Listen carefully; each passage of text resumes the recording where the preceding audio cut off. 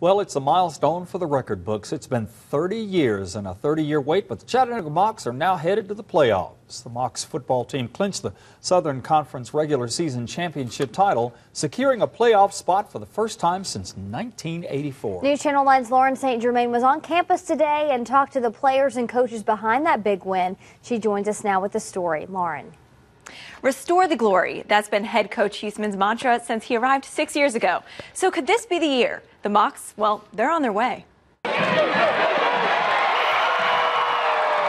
Just seeing that clock hit zero and knowing we had secured that championship, I feel like that was the best moment ever. The game clock at Finley Stadium hit zero. Final score, the UTC Mocs 31, Wofford Terriers 13. And just like that, the Mocs are SoCon regular season champs.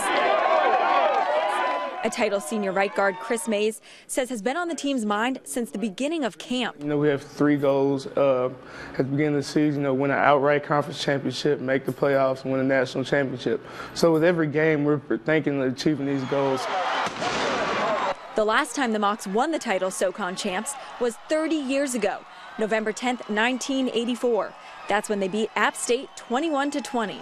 The Mocs then lost to Arkansas State in the first round of the playoffs. Then decades of rocky seasons.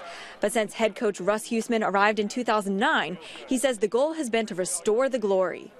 Now we got to do something special here, I think, and now we got to win our next two and do something special in the playoffs something special that the students and community are hoping for. The city of Chattanooga has really rallied behind us. We are so excited for UTC and hoping that they really kill it in the playoffs because I know we can go all the way. As a fan and a, a, person who supports football team, it was very exciting, you know, knowing that it's been a while since they won the, the conference outright. We're in, uh, so we're one of 24 teams that's going to have a chance at a national championship. And they have two more games against Tennessee Tech and conference rival Furman. The Mocs won't know exactly where they stand until Sunday, November 23rd. The first round of FCS playoffs begin the 29th, but if they are ranked in the top eight, which coach says there's a chance, they will have a bye week and host a playoff game the week after.